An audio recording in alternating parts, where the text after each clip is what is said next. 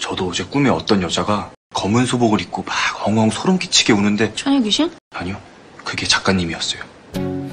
진짜 나였어? 네. 이건 무슨 맛이냐? 블루베리. 아 근데 제 건 안 돼요. 전자담배 끊으시면 생각해볼게요 수사했어 이렇게 맥박을 재는 거야. 몸은 거짓말 안 하거든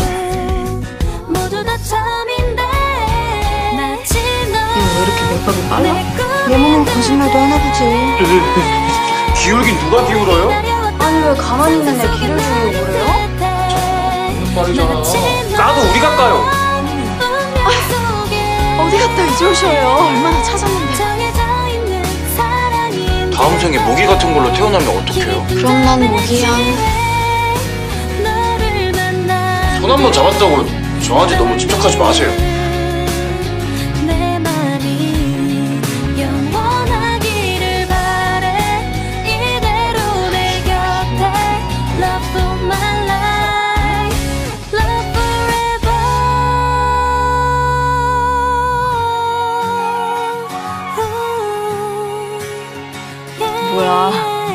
엎드려 절박기냐? 생일이라고 미리 말을 하시지 요즘 세상에 누가 음력 생일 따박따박 챙겨 먹냐?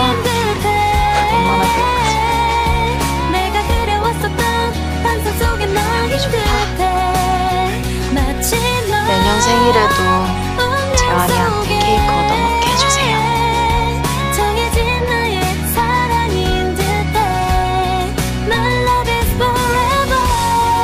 감정이 필요하세요 就能。